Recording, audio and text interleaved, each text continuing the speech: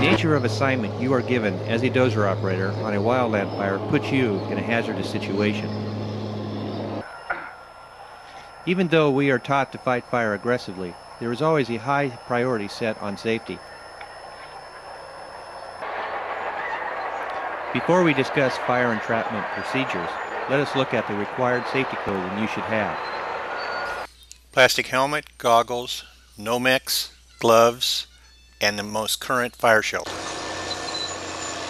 Now, if the situation happens where you might be run over by fire, follow these steps.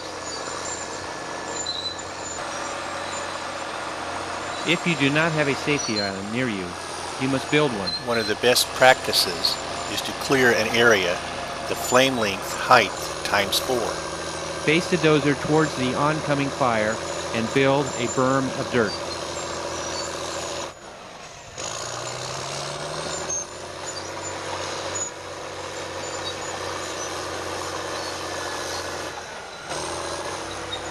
You will put your dozer in the center of the cleared area.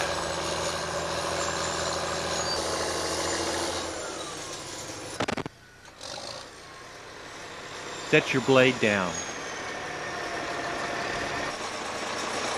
Set your brakes. Set your engine speed to half throttle.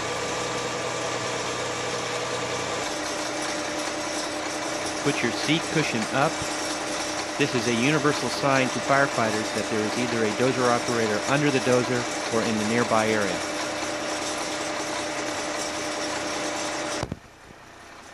If you have an enclosed cage, close the door before leaving. Deploy your fire shelter. Behind the dozer.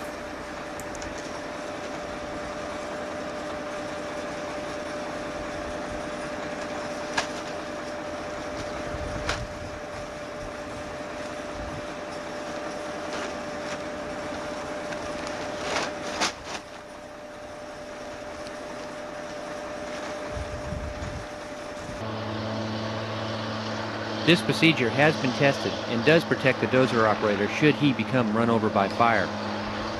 We do recommend that you practice this method several times in order for it to become second nature should the situation ever arise.